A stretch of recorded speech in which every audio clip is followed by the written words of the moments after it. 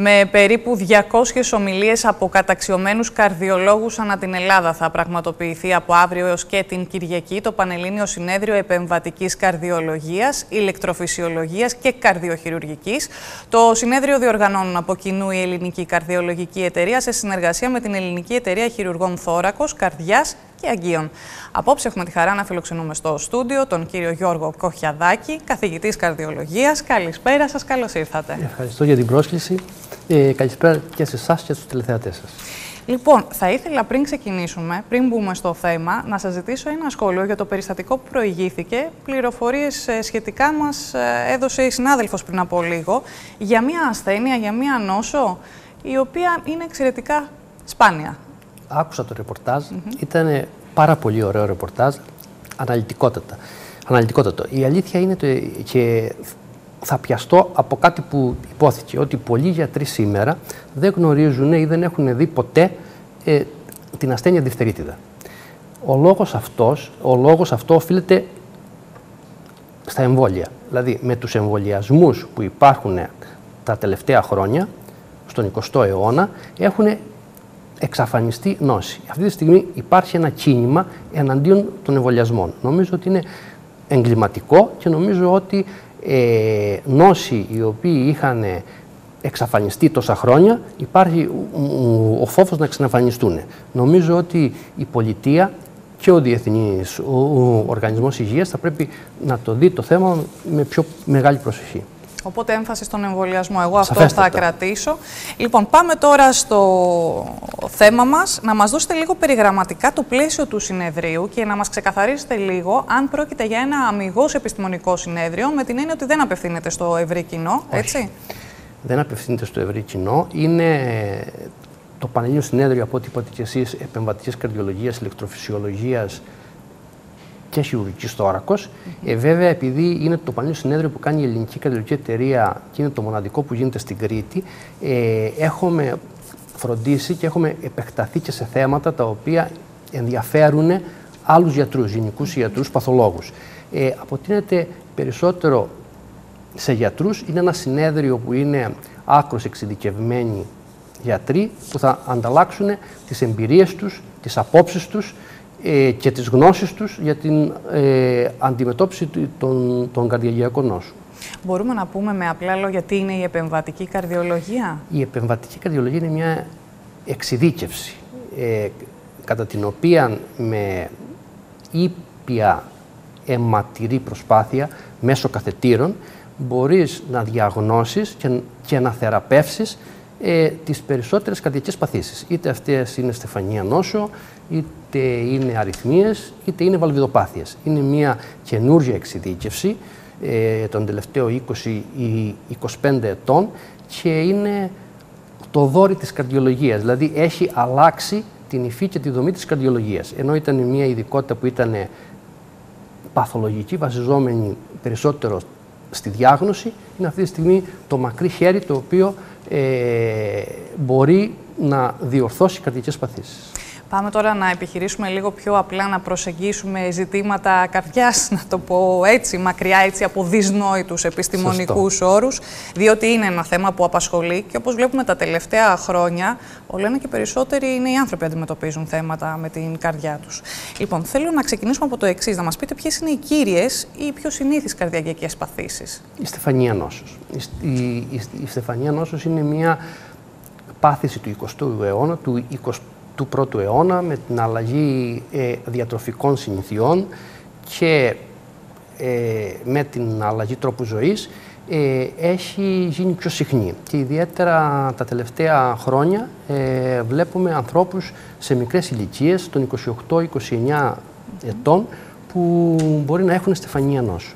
Είναι μία νόσος, πάθηση στεφανίων αγγείων, η οποία τη σημερινή εποχή μπορεί και να προβλεφθεί, να προληφθεί και μπορεί και να, και να αντιμετωπιστεί και να, και, και να θεραπευτεί. Ή μέσω της επεμβατικής καρδιολογίας, δηλαδή μέσω της στεφανιογραφίας και της αγγιοπλαστικής ή της χειρουργικής με, με το κλασικό χειρουργείο καρδιάς. Είναι η πιο συχνή.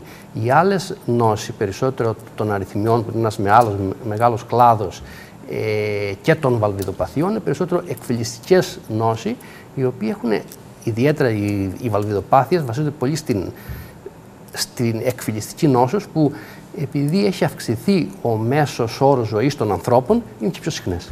Τώρα, ευνίδιος καρδιακός θάνατος.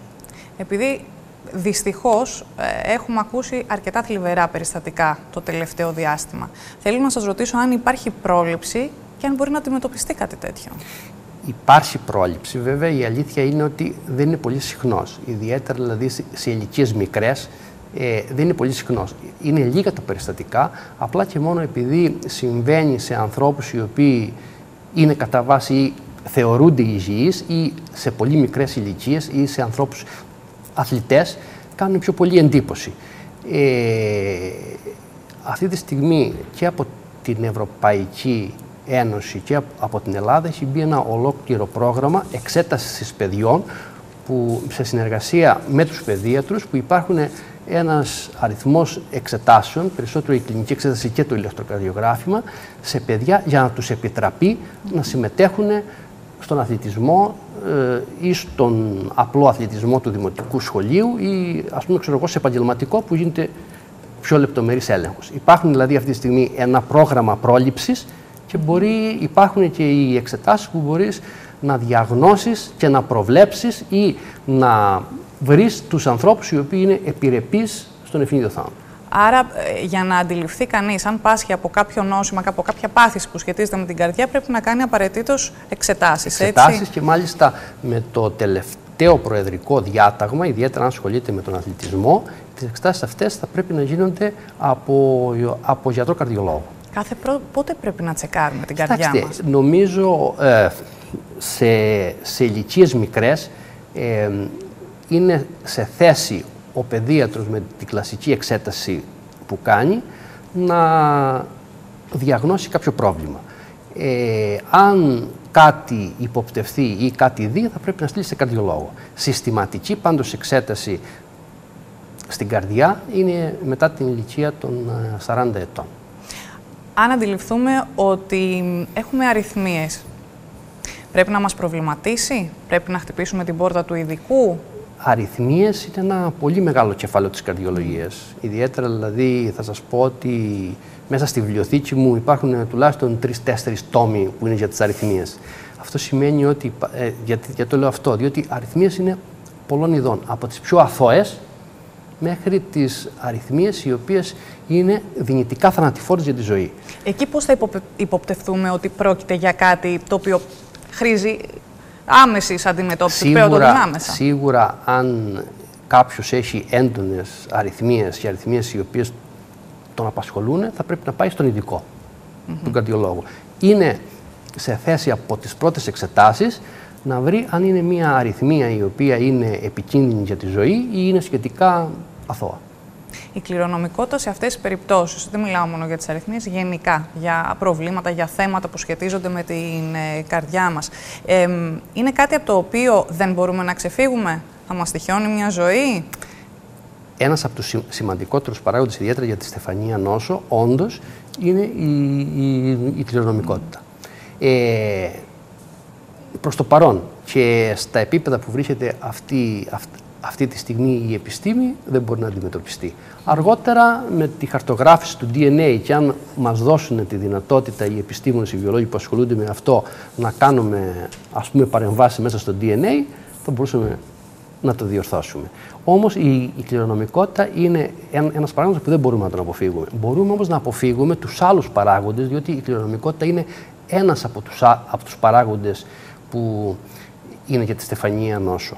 Ε, όπως είναι η, η αρτηριακή πίεση, το ζάχαρο, χολυστερίνη, το κάπνισμα. Επομένως, θα πρέπει να τροποποιήσουμε τους παράγοντες οι οποίοι μπορούν να τροποποιηθούν.